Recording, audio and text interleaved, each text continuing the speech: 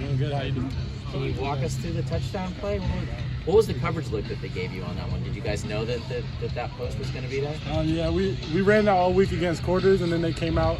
And their safeties were pretty run heavy, so they dropped when we did the, the fake handoff. So it was me one on one with number two, and guards put up a good ball. The line held up, and made their blocks, and we were able to score on that play. What do you? Oh, go ahead. Go ahead, Tracy. Go ahead. Uh, what do you think's been the biggest key for you, at least in that game against Minnesota? I mean, the first and fourth quarter, you know, you were really involved there.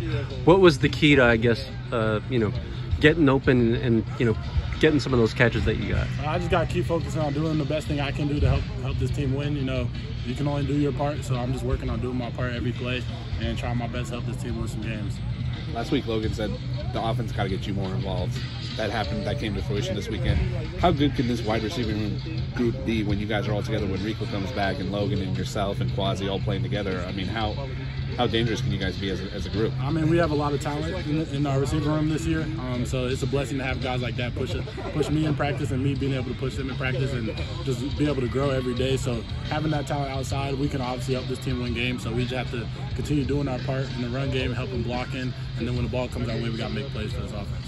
What's your level of comfort in Coach Bieniemy's offense now that you're basically halfway through the season? Well, I mean, I've been in it since the spring, so I'm extremely comfortable in it. It's like speaking my first language again, so it's it's really easy to learn, and I'm I'm just glad that I've got more comfortable in it. And you can see it in the other players how fast we're able to play and communicate uh, on the field uh, with routes and concepts. So it's it's it's, it's nothing to us now, and we, we can put in new plays all the time, and they just come in seamlessly. How big of a priority is stretching the field here in the second half? Maybe getting some more of those deep shots we saw. I mean, we love. I love to. I love to stretch the field. You know, it's really, really fun to, to make those big plays. So when when the big play opportunities come, we're going to try our best to make them happen, and we got to make them happen for us to win some games. So we're we're going to keep focusing on doing our part and helping the team win games by catching the ball and making our blocks.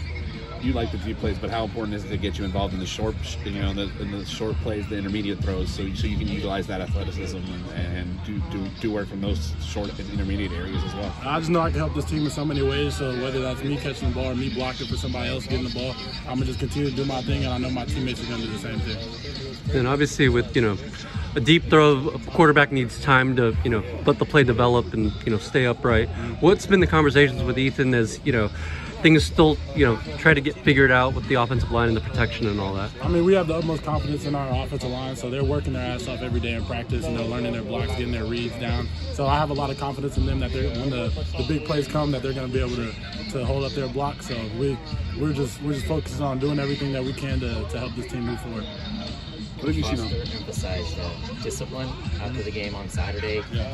What are the player-to-player conversations like when you know that's something you got to work on? And we just focus on the little things. So whether that's taking notes in the, in the room, uh, sitting up in meetings, tucking our shirts in, um, we just focus on looking like a team all the time and trying our best to work on being disciplined on the little things. So that that's the biggest thing we've seen from player to player. What have you seen on film, Rutgers secondary, and, and ways that you guys can exploit them this, this weekend? Uh, they're a good team. You know, they got a lot of athletic players over there. They're physical, and well, I got a lot of confidence in our team. Um, I know we got a lot of guys everywhere, so we're gonna go and be ready to go put on a show. So much has been made about the big travel that a lot of teams have to do this year. Do you have anything personal that you've changed for the longer road trips, or, or how much does it really affect you as a player? I mean.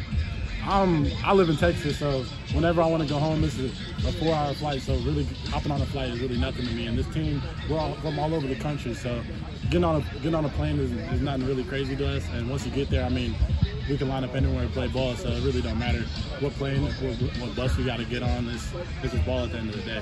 So it's cool to go to these new venues and, and be able to play a game that we love.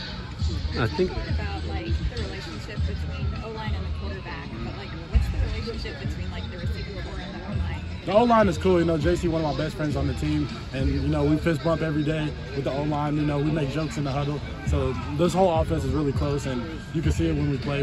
I love playing with these guys, and it's it's just easy to mess with everybody on the offense. Josh Carlin especially. Yeah. Um, you mentioned him. Yeah, what's his fun. personality like? JC, he's pretty funny. He's a funny dude. Um, easy guy to play for. Easy guy to play with. He's got a lot of confidence in himself. He, he knows what he's doing, and he, he helps bring up everyone around him. So that O line is definitely following his lead, and them guys have a lot of confidence in him, just like I have confidence in him and the rest of the O line. So it's, it's fun to have a guy like that in the O line room, and all the guys are, are really similar. You mentioned as a receiver setting the blocks also for the run game. How can, in your mind, the running game get a little bit more involved and more and more explosive? Uh, we just have to help on the perimeter. We're blocking, you know, the biggest runs. That they, obviously, the O line has to make their block too. But once the running back breaks through the line, they have to depend on us to, to break it to make those extra yards. So we don't know which play they're going to break it on. So we got to be ready every play to go out and block and help our, our running backs succeed. As a receiver, what would you think of uh, T.J. Harden's uh, catch and that electrifying running that he made? Nah, it was lit. Uh, I, I didn't realize that he had to jump over somebody on the floor until I watched it back on film. But I mean, you can see me. I'm sprinting, trying to help help get a get a touchdown block. But TJ's my guy, so I block for anybody on this team, and just have an opportunity to go like that and, and see TJ, you know, take off, it's, it's, it's fun. And I think when we talked to you back, what was it, July or whatever, at that EA event on, here on campus, you mentioned this Rutgers game is one you were interested in just because it was the farthest back east. Is that far. still the case? Yeah, it's gonna be a lot of fun to fly all the way across the country and go play football. Um, so I'm excited for it. I know the team's excited for it, and it's gonna be a fun day on Saturday. Thanks, Jim. Thank you. Yep.